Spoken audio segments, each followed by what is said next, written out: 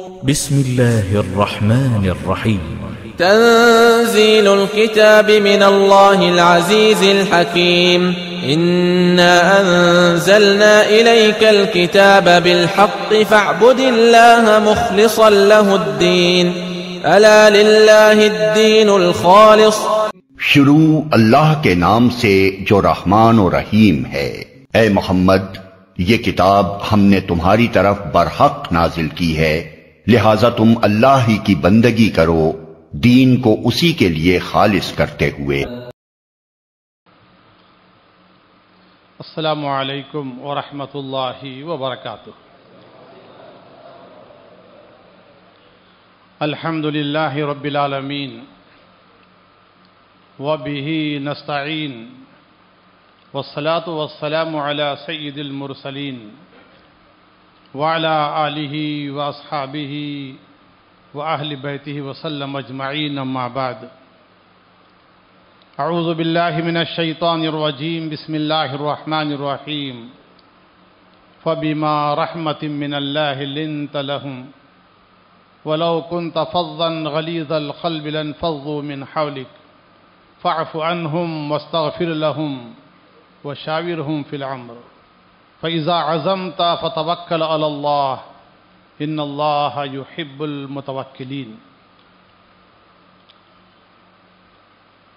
امیر مرکزی جمعیت الحدیث ہند حضرت مولانا اصغر علی امام مہدی صرفی حفظ اللہ و دیگر علماء کرام و ذمہ داران جماعت بزرگان دین نوجوانان اسلام، عزیز بچوں اور مائی بہنوں، مجھے آج جس عنوان پر کہنے کا حکم دیا گیا ہے، وہ عنوان ہے ذمہ داران اور پھر جماعتی اخوان کے اخلاق کیسے ہونے چاہیے۔ ایک تو امیر ہیں، دوسرے معمور ہیں۔ ایک تو ذمہ داران ہیں جماعت و جمعیت کے، اداروں کے، مساجد کے، اپنے خاندانوں کے اور اپنے گھرانوں کے ذمہ دار ہیں۔ اور پھر ان کے ماتحت رہنے والے افراد ہیں۔ ان کے درمیان میں تال میل کیسا ہونا چاہیے؟ ان کی صفات کیسی ہونی چاہیے؟ اور ان کے اخلاق کیسے ہونے چاہیے۔ اس سلسلے میں چونکہ وقت بہت نہیں ہے، مختصر وقت ہے۔ اور مختصر وقت میں بھی ایک مقرر اپنی معلومات کو سمیٹ کر پیش کر سکتا ہے۔ میں تمام اخوان سے کہنا چاہوں گا کہ اگر وہ کسی کی زندگی کو آئیڈیل بنانا چاہتے ہیں چاہے وہ امیر ہو، معمور ہو قائد ہو سپہ سالار ہو، معلم ہو، منصف ہو، تاجر ہو، مدرس ہو، طالب علم ہو، مجاہد ہو، عابد شب زندہ دار ہو، ان سب کو چاہیے کہ وہ جناب محمد الرسول اللہ صلی اللہ علیہ وسلم کو اپنا قائد سمجھیں۔ نبی کریم جناب محمد الرسول اللہ صلی اللہ علیہ وسلم کے بارے میں اللہ رب العالمین نے ارشاد فرمایا لقد کان لکم فی رسول اللہ اسوت حسنہ تمہارے لیے آئیڈیل لائف اگر کسی کی ہو سکتی ہے، کسی کی زندگی کو اگر تم اپنے لیے آئیڈیل بنانا چاہتے ہو، تو محمد الرسول اللہ صلی اللہ علیہ وسلم کی زندگی کو آئیڈیل بناؤ۔ اللہ کے نبی صلی اللہ علیہ وسلم کی زندگی میں کام آنے والے ہر شعبہ زندگی کے لیے رہنمائی ہے، رہبری ہے۔ لہذا جماعت اہل الحدیث، جو اہل حدیث یہاں کانفرنس منعقد ہوئی ہے، دنیا کو دعوت یہی دیتی ہے کہ سب سے پہلے وہ کتاب اللہ، اس کے بعد جناب محمد الرسول اللہ صلی اللہ علیہ وسلم کی حدیث، سنت، جس کو سیرت بھی کہا جا سکتا ہے، سیرت طیبہ بھی کہا جا سکتا ہے۔ اس کو اپنانے اور ان دونوں کتابوں پر عمل کرنے کی دعوت دیتی ہے۔ بزرگوں، عزیز نوجوانوں، جو آیت کریمہ میں نے آپ کے سامنے تلاوت کی ہے، اللہ رب العالمین نے اس آیت کریمہ میں جو سورہ آل عمران کی ایک سو انسٹھویں آیت کریمہ ہے، اللہ تعالیٰ نے ارشاد فرمایا فبیما رحمت من اللہ لنت لہم یہ اللہ رب العالمین کی آپ پر سب سے بڑی مہربانی ہے۔ اس آیت میں اللہ رب العالمین نے خطاب فرمایا اپنے پیارے حبیب محمد الرسول اللہ صلی اللہ علیہ وسلم سے۔ فبیما رحمت من اللہ لنت لہم اے نبی، آپ پر اللہ رب العالمین کا یہ بڑا احسان ہے۔ اللہ رب العالمین کی بہت بڑی نعمت ہے کہ اللہ رب العالمین آپ کو نرم کا، آپ کو مزاج کا نرم بنایا ہے۔ شیری گفتار بنایا ہے شیری زباں بنایا ہے، آپ کو میٹھی زبان عطا کیا ہے۔ آپ کے مزاج میں نرمی ہے، ملائمت ہے، علم ہے، بردباری ہے۔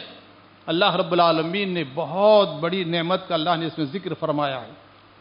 مجھے جو عنوان دیا گیا ہے، اس میں سب سے پہلے لکھا گیا ہے کہ ذمہ داران کے اخلاق کیا ہونے چاہیے۔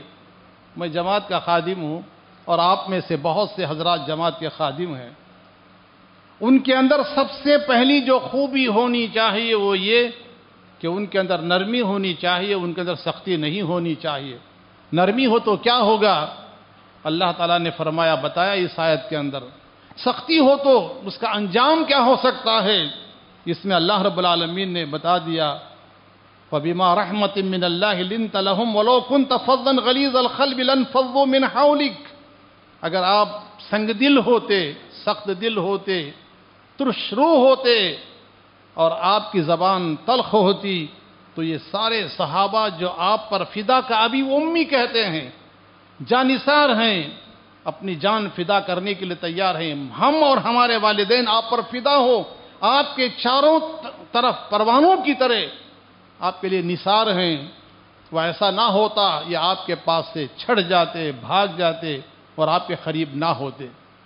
صحابہ کرام نے جناب محمد الرسول اللہ صلی اللہ علیہ وسلم نے صحابہ کرام نبی کریم صلی اللہ علیہ وسلم کی جو عزت، جو احترام فرمایا کرتے تھے، اس کو آپ سن چکے ہیں علماء کی زبانی۔ سہیل بن عمر آیا صلح حدیبیہ کے موقع پر۔ صحابہ کرام جو جس طرح کا ادب و احترام کرتے تھے، جس طرح کا نبی کریم صلی اللہ علیہ وسلم کے تقریم فرماتے تھے کہ آپ صلی اللہ علیہ وسلم جب گفتگو فرماتے تو خاموشی کے ساتھ سنتے اور جب آپ عضو فرماتے تو پانی کے خطرے زمین پہ گرنے نہ دیتے۔ سہیل بن عمر نے جا کر کہا، اہل مکہ سے کہ میں نے بادشاہوں کے دربار دیکھے ہیں۔ ان کی مجلسوں میں میں نے شرکت کی ہے۔ وہ ادب و احترام، وہ عزت، وہ تقریم جو صحابہ محمد الرسول اللہ صلی اللہ علیہ وسلم کی کرتے ہیں۔ ایسی میں نے کہیں نہیں دیکھی۔ وہ نتیجہ تھا کہ نبی کریم جناب محمد الرسول اللہ صلی اللہ علیہ وسلم مزاج کے بہت نرم تھے، باتیں سنتے تھے، سامنے والے کی بات کو۔ نبی کریم صلی اللہ علیہ وسلم کا حال یہ تھا کہ راستے میں چلتا ہوا اگر کوئی آپ سے ملاقات کر لیتا، جب تک وہ اپنا ہاتھ، جب تک وہ رسول اللہ صلی اللہ علیہ وسلم کا ہاتھ نہ چھوڑتا، تو اللہ کے نبی اپنا ہاتھ نہیں کھینچتے تھے۔ یہ خائد تھے، یہ امام امام الانبیاء تھے، ختم الرسول تھے، پوری کائنات کے لیے اللہ تعالیٰ کو رحمت بنا کے بھیجا تھا۔ ان کی امتیوں کو چاہیے، ان کے متبعین کو چاہیے، امت محمد صلی اللہ علیہ وسلم کو چاہیے، اہل حدیثوں کو چاہیے کہ اہل حدیث جناب محمد الرسول اللہ صلی اللہ علیہ وسلم کی ان رسول اللہ کے ان اخلاق کو اپنے اندر پیدا کریں۔ جیسے جس طرح صحابہ کرام احترام کرتے تھے، رسول اللہ صلی اللہ علیہ وسلم کا ایسے ہی ضروری ہے کہ اس جماعت کے جو اخوان ہیں، جو ہمارے بھائی ہیں، اپنے ذمہ داران کا ویسے ہی احترام کریں، ویسے ہی ادب کریں، ویسے ہی تکریم کریں۔ صحابہ کرام رضوان اللہ علیہ مجمعین جب نبی کریم صلی اللہ علیہ وسلم نے تعلیم دی علماء کی تقریم کرنے، بزرگوں کا احترام کرنے، ان کا حال کیا تھا؟ زید بن امام شابی لکھتے ہیں کہ زید بن ثابت جو حافظ قرآن کاتب وہی تھے، ایک مرتبہ مدینہ منورہ آئے۔ مدینہ میں رہتے تھے، ایک جنازے میں انہوں نے شرکت کی۔ جنازے میں شریک ہو کر جب واپس جا رہے تھے، عبداللہ ابن عباس رضی اللہ تعالیٰ عنہ، حبر الامہ، اس امت کے بہت بڑے عالم و فاضل امزاد رسول صلی اللہ علیہ وسلم، رسول اللہ کے چچازاد بھائی عبداللہ ابن عباس رضی اللہ تعالیٰ عنہ آگے بڑھے۔ زید بن ثابت کو ان کی سواری پہ سوار کرایا۔ سواری کا لگام پکڑ کر اس کو آگے آگے لے کر جا رہے تھے۔ زید بن ثابت نے کہا، امزاد رسول، اے نبی کریم صلی اللہ علیہ وسلم کے چچا زاد، بھائی، مجھے شرمندہ نہ کیجیے۔ آپ چھوڑ دیجیے، آپ بھی عالم ہیں، آپ بھی فاضل ہیں۔ آپ اہل بیت میں سے ہیں، اور آل رسول میں سے ہیں۔ آپ کا مقام بہت بڑا ہے۔ آپ چھوڑ دیجیے۔ انہوں نے کہا ہاں کزا امرنا بیا نفعل بی علمائنا ہمیں اسی طرح کا حکم دیا گیا ہے کہ ہم اپنے علماء کرام کا احترام کریں، ہم اپنے علماء کرام کی عزت کریں عمرہ کی عزت کرنا، ذمہ داران کی عزت کرنا، بڑوں کا احترام کرنا یہ ضروری ہے۔ اتحاد اتفاق جماعتی اتحاد کے لیے ضروری ہے کہ چھوٹی چھوٹی باتوں پر ذمہ داران پر تنقید نہ کریں۔ ذمہ داران کے ساتھ حسن زن رکھیں اور آپس میں ایک دوسرے کے ساتھ اچھا گمان رکھیں۔ اللہ رب العالمین نے ارشاد فرمایا، یا ایوہ الذین آمنوا اجتنبوا کثیرا من الظن۔ اے ایمان والو، ایک دوسرے سے بدگمانی نہ کرو۔ بدگمانی، حسن زن رکھنا چاہیے۔ امام بصری رحمہ اللہ فرماتے ہیں، ایک مسلمان دوسرے مسلمان سے ستر مرتبہ سے زیادہ حسن زن سے کام لینا چاہیے۔ آپ میں سے کسی نے کسی ذمہ دار کو اپنی کسی تقریب میں اپنے کسی گھر کے کام کاج میں یا کسی معاملے میں آپ نے دعوت دے دی، وہ شریک نہیں ہو سکے۔ تو ایسی صورت میں آپ کو حسن زن رکھنا چاہیے، نیک گمان رکھنا چاہیے۔ ہو سکتا ہے کہ بھول گئے ہوں۔ ہو سکتا ہے طبیعت خراب ہو گئی ہو۔ ہو سکتا ہے کہ کوئی معاملہ ہو۔ اپنے ذمہ داران کے ساتھ، علماء کے ساتھ احترام ہونا چاہیے۔ ایک بات یاد آ گئی، چار مینار مسجد میں کھڑا ہوں۔ ابھی ہمارے شیخ اعجاز صاحب ندوی اللہ تعالیٰ ان کی عمر میں برکت دے، ان کے علم میں برکت دے۔ جماعت کی خدمت ان سے مزید لیتا رہے۔ میں یہاں مولانا عبد المتین صاحب کے ساتھ کوئی بیس سال، بائیس سال ساتھ میں رہا۔ جماعت کیا احترام کرتی تھی؟ وہ احترام ہونا چاہیے۔ میں نے دیکھا نکاح ہونے کے بعد دلہا دلہن والے مولانا کا مولانا کی مدد مولانا تحفے تحائف دیا کرتے تھے۔ تحفے تحائف دیا کرتے آج کیا ہے؟ مولوی کو بلا لیتے ہیں، کار بھیج کر نکاح پڑھنے کے لیے، پڑھانے کے لیے۔ نکاح ہونے کے بعد پھر ان کو ایسے بھول جاتے ہیں کہ ان کو خود سواری تلاش کرنی پڑتی ہے۔ کیا احترام ہو رہا ہے علماء کا؟ کیا احترام ہو رہا ہے؟ مولانا ثناء اللہ عمر سری رحمہ اللہ دیکھیے، ایک دوسرے کے درمیان میں کس طرح کا تعاون اللہ کے نبی فرماتے ہیں؟ الدین عن نصیحہ۔ صحیح مسلم، صحیح بخاری کے الدین عن نصیحہ۔ دین ہمدردی خیر خواہی کا نام ہے۔ جماعت میں اتحاد و اتفاق کے لیے ضروری ہے کہ اخوان جماعت آپس میں ایک دوسرے کے درمیان میں حسن زن سے کام لیں۔ اگر حسن زن نہ ہو، بدگمانی نہ ہو جماعت کے ٹوٹنے میں، خاندانوں کے بکھرنے میں، تجارتوں کو، تجارتوں کے ختم ہونے میں دیر نہیں لگتی ہے۔ اور سب سے اہم چیز جماعت و جمعیت کے لیے جو ضروری ہے وہ یہ ہے کہ اخوان جماعت آپس میں حسن زن سے کام لیں۔ اور دوسرا یہ کہ وہ ایک دوسرے کے ساتھ ہمدردی خیر خواہی کا جذبہ رکھیں۔ اللہ کے نبی فرماتے ہیں دین و نصیحہ دین ہمدردی خیر خواہی کا نام ہے۔ سب سے پہلا شہر دامتی شہر جو تھا، وہ مکہ مکرمہ تھا۔ مکہ مکرمہ میں نبی کریم جناب محمد الرسول اللہ صلی اللہ علیہ وسلم نے دعوت کا کام شروع کیا۔ اپنی جماعت و جمعیت مسلمانوں کی آپ نے جو تربیت فرمائی، صحابہ کی جو تربیت آپ نے فرمائی، اللہ تعالیٰ کی طرف سے جو احکام نازل ہوئے، سب سے پہلے حرام و حلال کے احکام نہیں نازل ہوئے۔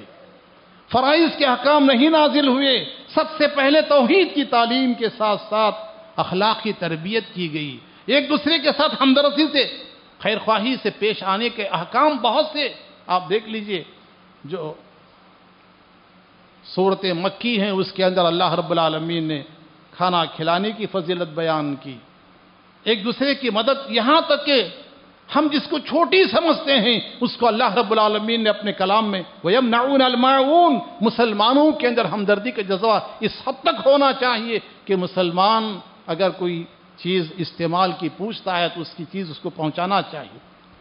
اللہ کے نبی فرماتے ہیں، الدین عن نصیحہ، دین ہمدردی خیر خواہی کا نام ہے۔ صحابہ نے پوچھا، لمن، کس سے ہمدردی؟ آپ نے فرمایا، للہ۔ اللہ کے ساتھ ہمدردی خیر خواہی ہم کیا کر سکتے ہیں؟ خیر خواہی اللہ کے ساتھ۔ اللہ کے ساتھ خیر خواہی کی تفسیر، تشریح یہ کی گئی ہے کہ سب سے پہلے اللہ رب العالمین کے مقام کو، اس کے مرتبے کو، اس کے حقوق کو جانا جائے، اس پر عمل کیا جائے۔ میرے بھائیوں، ہم یہ سمجھتے ہیں کہ ایک مسلمان کی ہمدردی یہ ہے، ہمارے بھائی کی ہمدردی یہ ہے کہ ہم اس کی کسی کسی خوشی میں کوئی مدد کر دیں، اس کی کسی بیمار پرسی کریں، عیادت کریں، تعزیت کریں، مالی مدد کریں اس کی تعلیم میں۔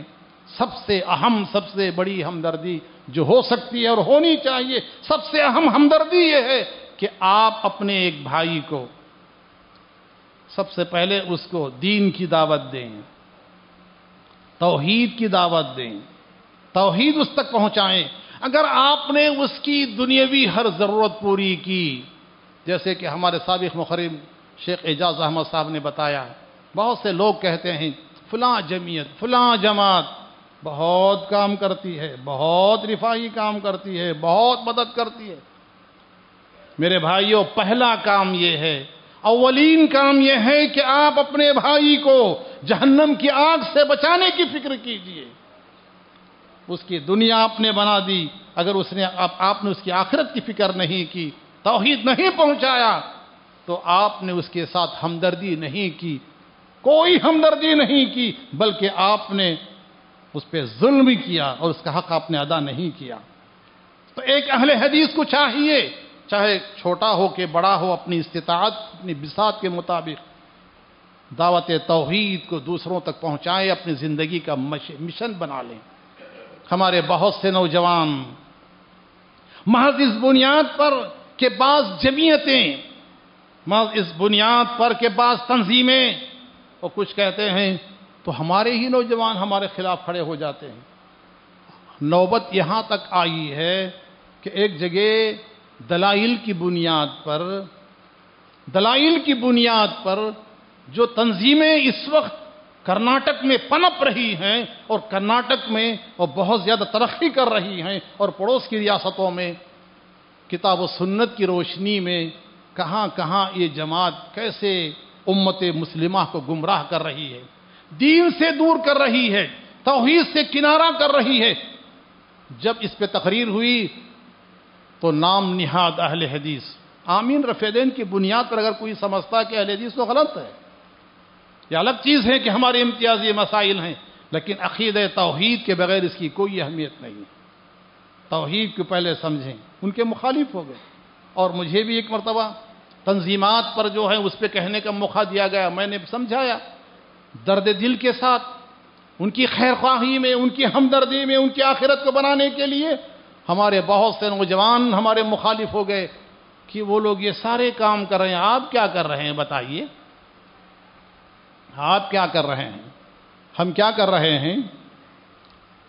دنیا میں جو کوئی نہیں کر رہا ہے، وہ علماء اہل حدیث کر رہے ہیں۔ ہندوستان میں جو کام نہیں ہو رہا ہے، وہ کام اہل حدیث جمعیت کر رہی ہے۔ آج ڈنکے کی چوٹ پر اگر کوئی توحید پر کہہ سکتا ہے اور کہہ رہا ہے، تو جماعت اہل حدیث ہے۔ اور جماعت اہل حدیث کے، بتائیے، علماء ہے ہے کسی میں یہ طاقت؟ بڑے سے بڑے کتاب و سنت کی روشنی میں کہتے ہوئے لرزاں و ترساں ہیں، بند محفلوں میں کہتے ہوئے خوف کھاتے ہیں، خوف زدہ ہیں۔ اتنے سالوں ہو گئے، آج تک ہندوستان کے بڑے بڑے علماء کرام کو، جن کو اس بات کا دعویٰ ہے کہ ہم ہی اس ملک میں اسلام کے علم بردار ہیں اور ہم ہی اس ملک میں اسلام کو نفاذ کرنے ان ان کی یہ طاقت نہیں، ان کی یہ ہمت نہیں کہ وہ توحید پر کہیں، ان کو معلوم ہے کہ اگر ہم توحید پر کہیں گے تو ہم کو بھی لوگ اہل حدیث کہیں گے۔ ہم کو بھی لوگ اہل حدیث کہیں گے، اس لیے توحید توحید کے علاوہ سب کہیں گے، اتباع سنت علاوہ سب کہیں گے۔ تو اس دعوت کو عام کرنے کے لیے ضروری ہے کہ آپس میں آپ ایک دوسرے کے ساتھ تعاون کریں، اتحاد و اتفاق تسیم و بحبل اللہ جمی ولا تفرقو چھوٹی چھوٹی باتوں کو لے کر اختلاف نہ کریں۔ چھوٹی چھوٹی باتوں کو لے کر جماعت و جمعیت کو منتشر نہ کریں۔ یہ جماعت و جمعیت پر آپ کی بہت، آپ کا بہت بڑا احسان ہوگا۔ میں بتا رہا تھا، یہ تنظیمیں جو ہندوستان میں پنپ رہی یہ ایک بات بول کر آگے بڑھنا چاہتا ہوں۔ ایک تنظیم جس کا نام لیے بغیر آپ سمجھ جائیں گے، اس کا سب سے اہم مقصد یہ ہے کہ اس کرناٹک میں جو جو بابا بڈنگیری کی درگاہ ہے، اس کی آزادی اور اس کو حاصل کرنا، اس کی زمین کو حاصل کرنا، اس کا سب سے اصل مقصد ہے، سب سے اہم مقصد ہے۔ ان کا لٹریچر پڑھ کے دیکھیے، انہوں نے کیا لکھا ہے؟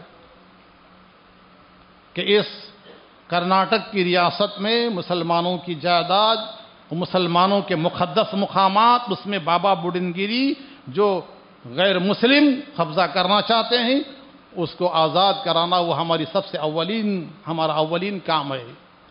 ان کے ساتھ اہل حدیث توحید پرست کھڑے ہوئے ہیں۔ ان کے ساتھ، ان کے ساتھ ان کا تعاون کھلے طور پر کر رہے ہیں۔ کہاں چلی گئی؟ کہاں چلی گئی وہ غیرت؟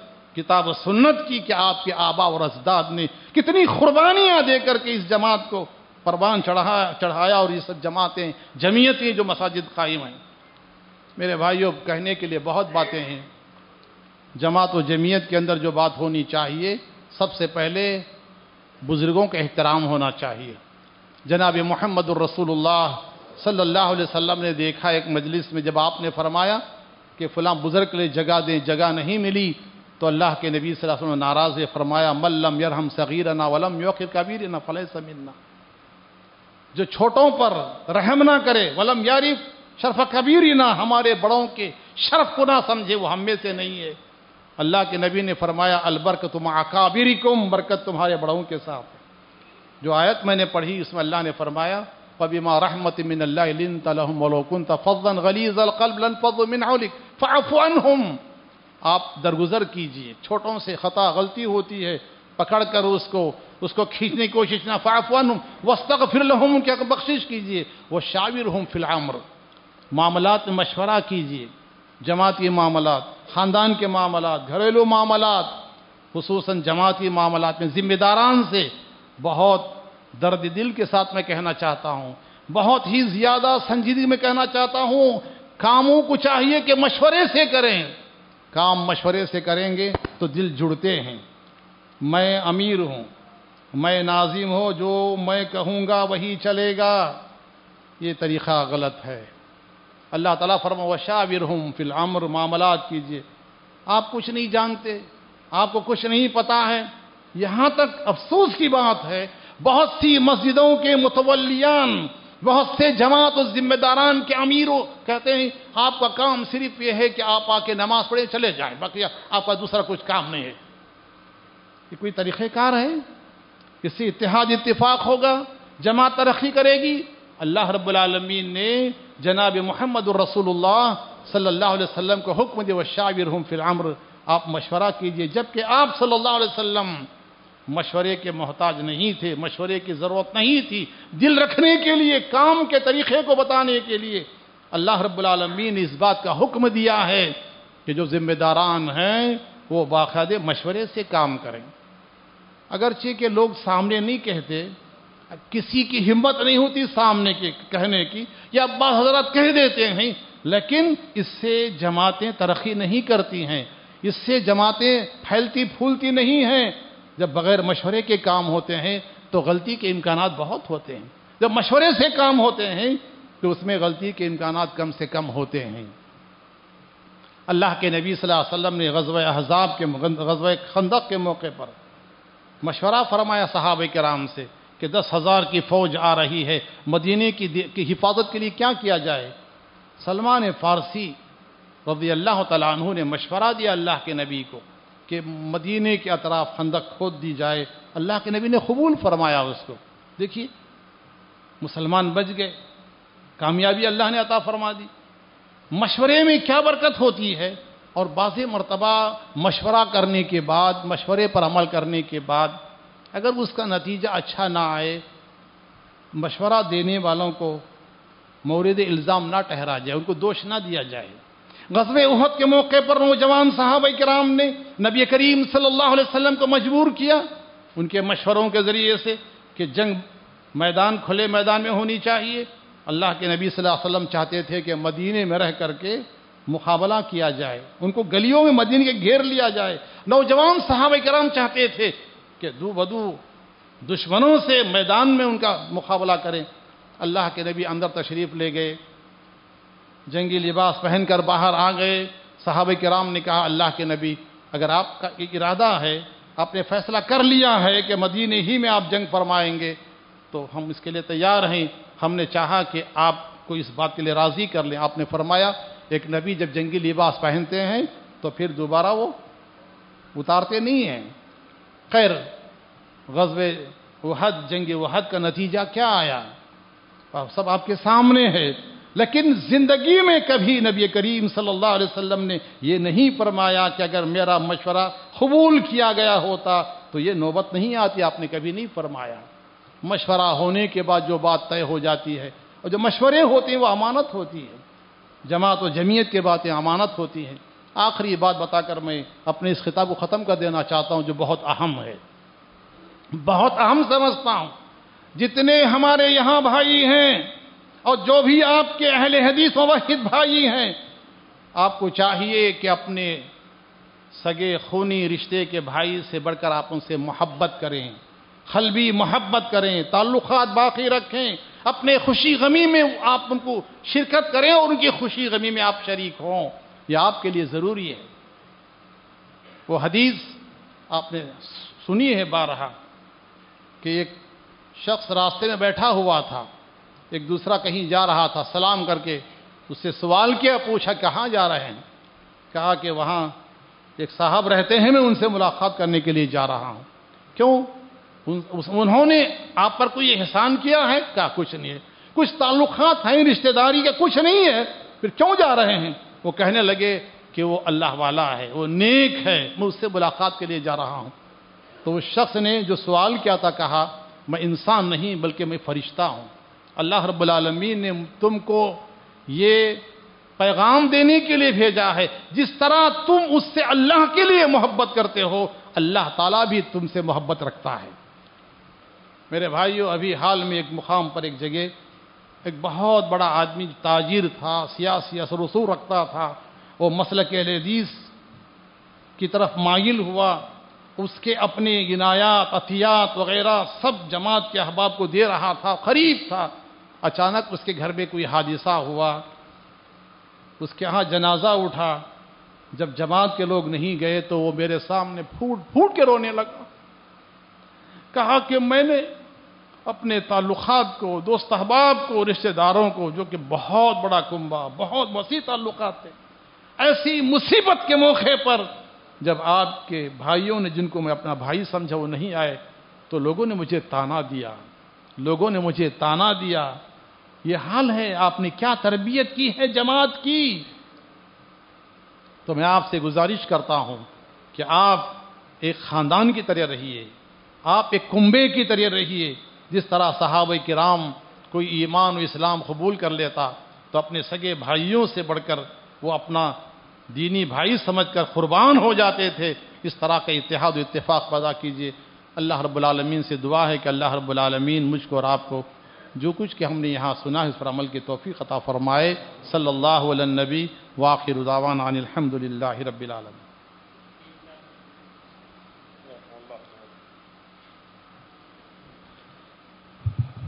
جزاكم الله خير وأحسن الجزاء وبارك فيكم وتقبل جهودكم.